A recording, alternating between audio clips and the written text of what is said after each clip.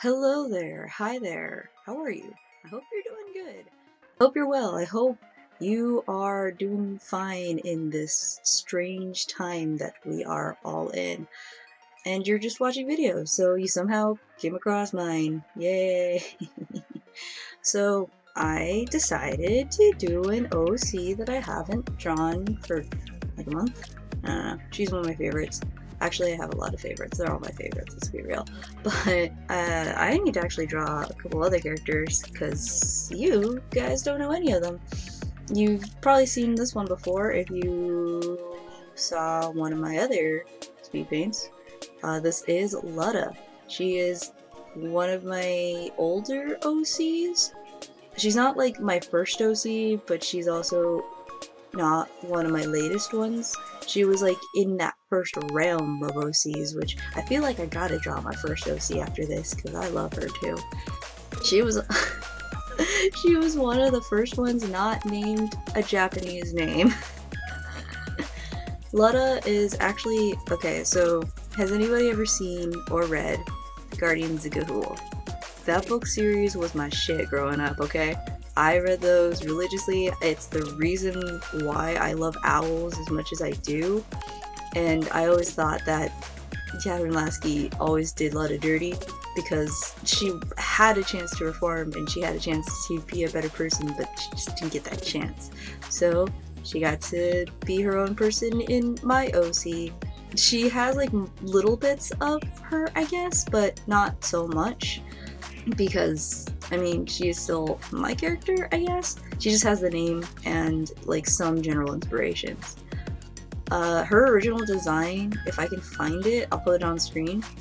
But it's a, uh, she was like my first character that I kind of gave like a quote unquote Lolita style. It was gothic Lolita, very like based on if anybody was on the internet in 2000 what this was like eighth grade for me seven, eight, 2007, 8. I think that's around the time. If any of you guys were on there, there was a website that had basic Lolita fashion, and it's definitely grown a lot. And there's some really awesome like info on what Lolita fashion is. I'm definitely not the person to go to for understanding what it is because I only know the basics. I just got really into the style because I was also kind of a weeb, and Japan was like the thing that I really loved. So that's a thing.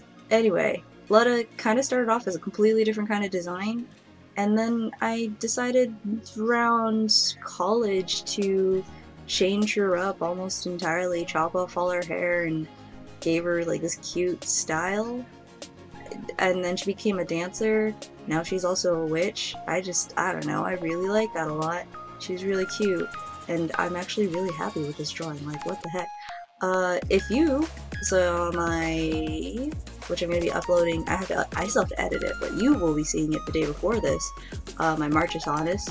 Uh, you'll notice she is wearing the same outfit that I'm wearing. I like to give my characters outfits that I wear.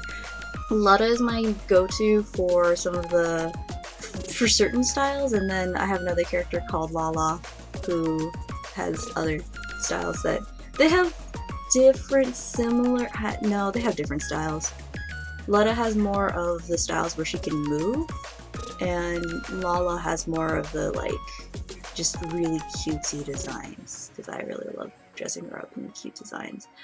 I'll get to I'll get to those guys eventually because there's also a whole series of characters that I made for a comic with a friend, but we ended up not doing that.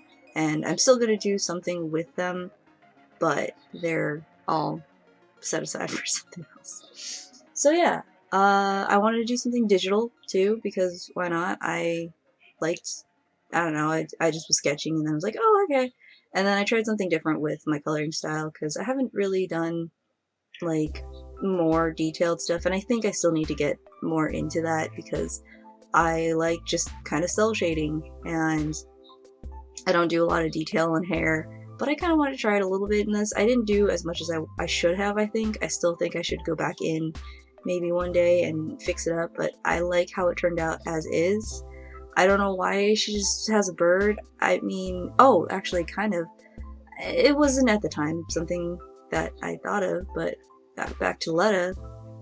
If you've read Guardians of Ga'Hoole, Lutta was a character, just as a summary, Lutta was a character who was something called a hag fiend or like a hybrid hag fiend, and she like these hag fiends were like evil creatures and stuff. They were born to be evil, and then she kind of like escaped that, and then she fell in love with this other owl, and it was kind of because he was the first person to kind of treat her right and treat her like someone who deserves being treated well.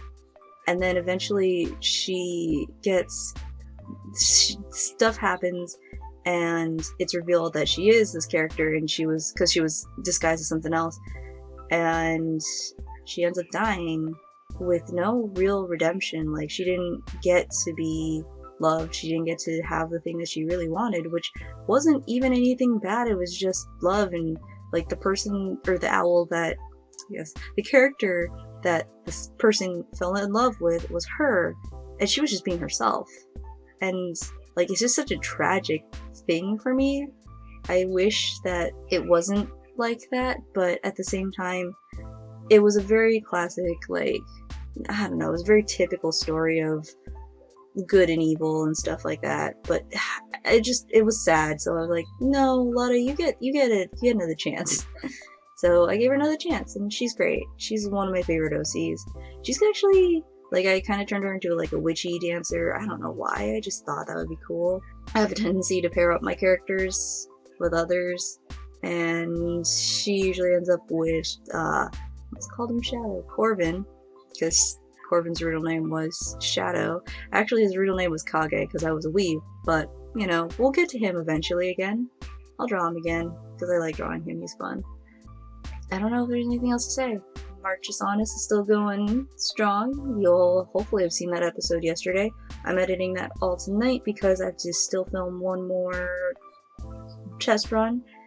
And then I'll have an update on merch stuff coming up because I am going to be at a convention in August. I believe it's the end of August. And I called a Game On. I've been to it a couple times. Last year was a lot better than the first year, and I'm hopefully going to have a lot more stuff this year. I have somebody who's going to hopefully be selling stuff with me. He has a really, uh, we haven't finalized that, so we still gotta figure that out. But I want to sell at more conventions, but all the ones in Arizona sell out like instantly. Yay! Like I signed up for Taiyou and I signed up for Sabo, but nope. Sabo was sold out immediately. I knew that would happen, but I was hoping I'd get into Taiyou, but you know, it's whatever. Anyway, um, I think that's all that I have to say. Uh, if you have any suggestions or anything, um, or requests, let me know in the comments below. I am probably going to be drawing more OCs next week because I realized that I haven't drawn certain characters in a very long time. So I should draw them because I love them. Anyway, uh, yeah, thank you for watching. Thank you for listening. Thank you for swapping by. I probably won't do a 400 vid subscriber video because uh, there's the people who just keep on subscribing is weird. I don't know. People like watching my stuff. Question mark. Yeah. All right. Well, that's that's that's all the things. I think. Okay. Enjoy.